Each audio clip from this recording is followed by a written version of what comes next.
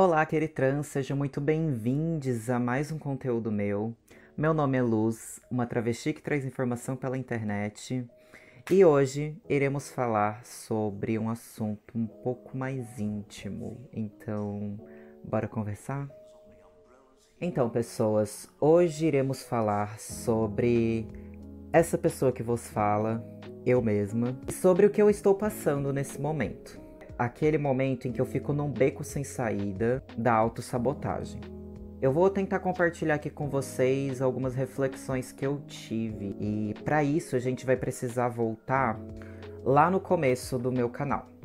Quando eu comecei aqui no YouTube postando vídeos no meu canal, eu já tinha noção de que eu queria ser uma comunicadora da vivência transvestigênero e principalmente da minha. Isso é um ponto muito importante. E eu profissionalizei mais o meu conteúdo, é, fui melhorando e lapidando cada vez mais. Só que esse tipo de conteúdo, que é o que eu tô fazendo aqui agora, de que eu entro nesse lugar que é autossabotagem, sempre acaba voltando para as plataformas que eu utilizo, ou seja, Instagram, ou seja, o YouTube, que são as plataformas que eu utilizo atualmente. Pretendo expandir isso acaba acontecendo porque eu sou uma pessoa muito sensível e eu ainda não consegui ligar ou eu não consegui conectar ainda a minha criação de conteúdo, a forma como eu me coloco na internet com as coisas que me afetam e me deixam sensível. Por exemplo, as queimadas, o nosso presidente que não tá fazendo nada para ajudar, as pessoas realmente não relevando a pandemia com seriedade. Muitas coisas externas que acontecem e que me afetam demais aqui dentro. E aí, na hora de criar um conteúdo, eu entro nesse limbo em que eu vou achar que o que eu tô falando é ruim, porque eu fico sensível, eu fico machucado, eu fico triste e eu não consigo criar conteúdo quando eu tô assim. Ou é o que eu achava, pelo menos. Acontece que o meu conteúdo eu não via como uma obra de arte minha. Eu não via como algo artístico meu. E é. A minha arte, ela é muito sobre cura, sobre a minha autocura, sobre a minha autodescoberta. Os meus desenhos, os meus textos, as minhas poesias.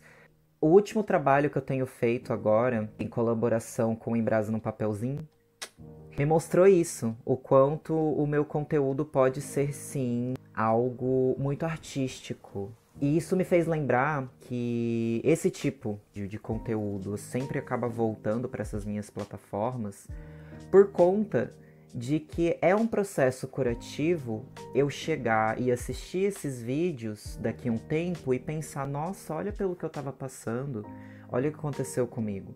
Então é um processo de cura para mim também. Eu tinha esquecido disso e agora eu voltei e parei e pensei, preciso externalizar isso de alguma forma, eu preciso colocar isso para fora, porque senão eu vou parar de novo. Porque isso já aconteceu, já aconteceu de eu entrar no, na, na autossabotagem, no limbo, e eu ficar completamente perdida na criação de conteúdo. E aí eu parei. Eu acho que é sobre isso, eu acho que é sobre não desistir.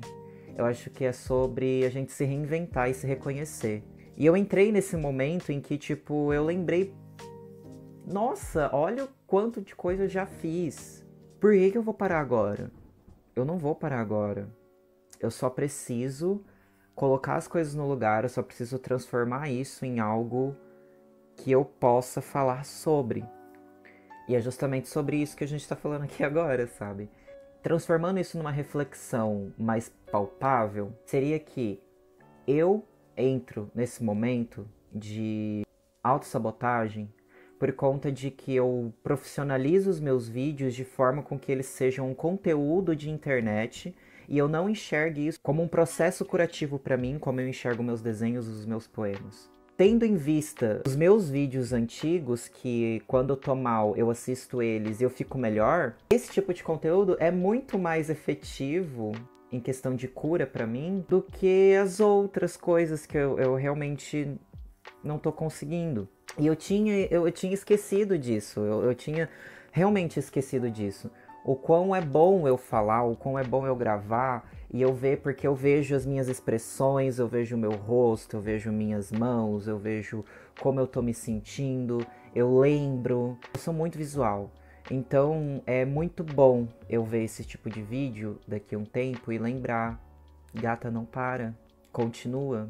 Eu quero só trazer essa reflexão aqui para vocês de tipo, qual é o processo curativo de vocês? O que, que vocês fazem, vocês fazem, que é bom para vocês, que cura vocês?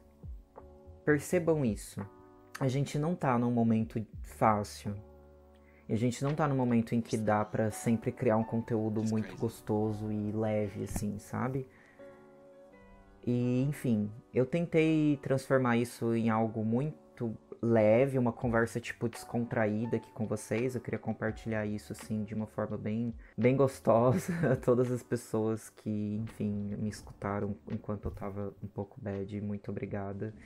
Vocês tiraram um peso enorme das minhas costas e é para eu conseguir fazer esse vídeo. Então, muito obrigada a todos meus amigos. Muito, muito obrigada. Bom, eu espero que vocês tenham gostado desse vídeo. É isso. Um beijo no coração de todos e até a próxima.